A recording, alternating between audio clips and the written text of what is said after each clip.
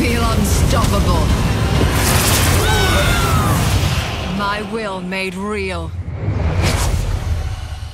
Wir alle haben sehnsüchtig drauf gewartet. Blizzard hat unsere Wünsche erhört. Als nächsten Helden wird es einen Supporter geben. Was Mora so alles kann, wie die nächste Map aussieht und wie die wirklich richtig coolen und brandneuen Skins aussehen, erfahrt ihr hier und jetzt alles in diesem Video. No time to run. It's the fight of your life. Ja, Mono des Wogen am Start mit einer weiteren Folge zur Overwatch und ich bin immer noch richtig gehypt vom neuen Content, der announced wurde, weswegen wir uns jetzt einfach alles ganz in Ruhe gemeinsam anschauen. Gestartet hat Jeff Kaplan die Vorstellung der Neuerungen mit dieser Map hier, Blizzard World.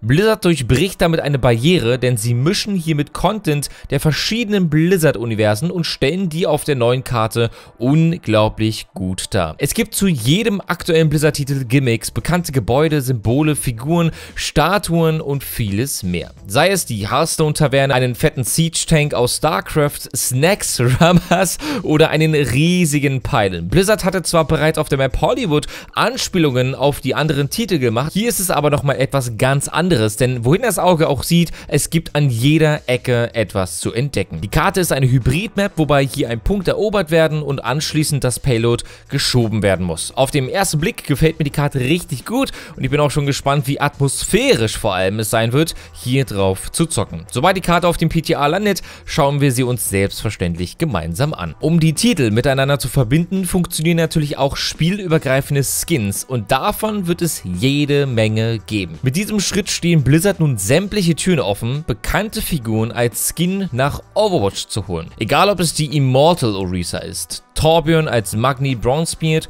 Widowmaker als Nova, Ach Leute, wie ich mich über diesen Skin gefreut habe. Unglaublich einfach, muss ich wirklich sagen.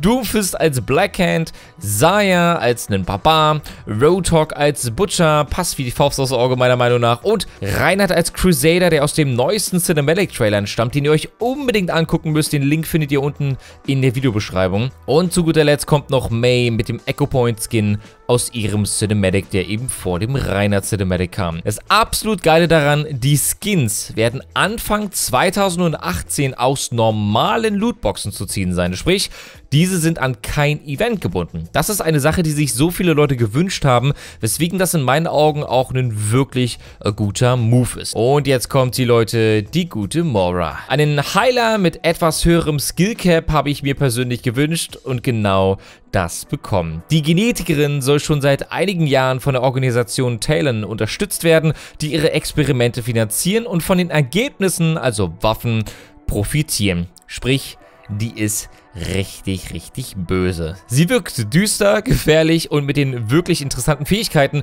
wirkt sie auch wirklich richtig stark, aber lasst uns die Abilities nach und nach mal jetzt gemeinsam anschauen. Starten wir mit ihrer Basisfähigkeit der biotischen Hand.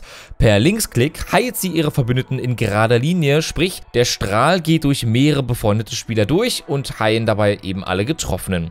Dabei wird ihre Energie, die ihr auf der rechten Seite auch sehen könnt, langsam aufgebraucht. Auch wenn sich diese Energie eben langsam von selbst wieder auflädt, könnt ihr per Rechtsklick Schaden an Gegnern verursachen. Dabei heilt ihr euch nicht nur selbst, das heißt, ihr habt hier Lifesteal am Start, sondern ihr könnt damit im Endeffekt auch eure Energie wieder aufladen und das auch wirklich richtig schnell, um dann eben wieder eure eigenen Leute zu heilen. Alleine hier merkt man schon, dass Moira etwas offensiver gespielt werden muss, damit sie sich zum einen natürlich stets in Range zu ihren Teamkollegen befindet, auf der anderen Seite aber auch natürlich Schaden für die Regeneration ihrer Energie austeilen muss. Da man hier natürlich ein unglaublich wichtiges Ziel für den Gegner darstellt, kann sie sich alle 6 Sekunden mit der Fähigkeit Phasensprung teleportieren. Hierbei verschwindet sie für eine Sekunde komplett von der Bildschirmfläche und kann auch nicht anvisiert werden. 6 Sekunden CD bei dieser Fähigkeit klingt für mich persönlich erstmal super und bin auch schon gespannt, wie gut der Blink tatsächlich funktioniert, denn ich glaube, dass sie wirklich sehr viel in Bewegung sein muss. Weiter geht's mit ihrer E, nämlich der biotischen Sphäre. Hierbei muss sie sich erstmal, wie auch schon beim Primärangriff,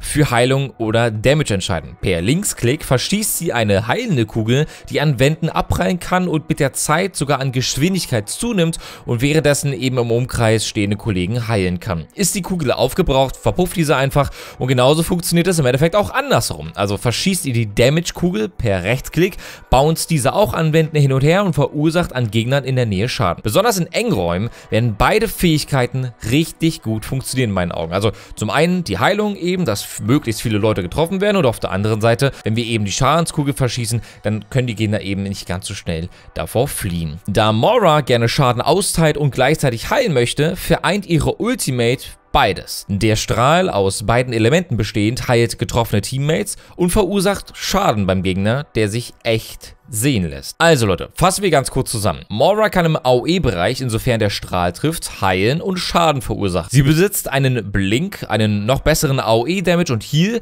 plus einen mächtigen Strahl als Ultimate, wo sie beide Effekte in einem hat. Klingt das nicht nur gut, aber auf der anderen Seite auch irgendwie fordernd? Ich bin vom Heldendesign persönlich unglaublich überzeugt und freue mich wirklich schon richtig doll, den neuen Supporter auszupacken und bin da auf euer Feedback ganz besonders gespannt. Wie gefällt euch der Held?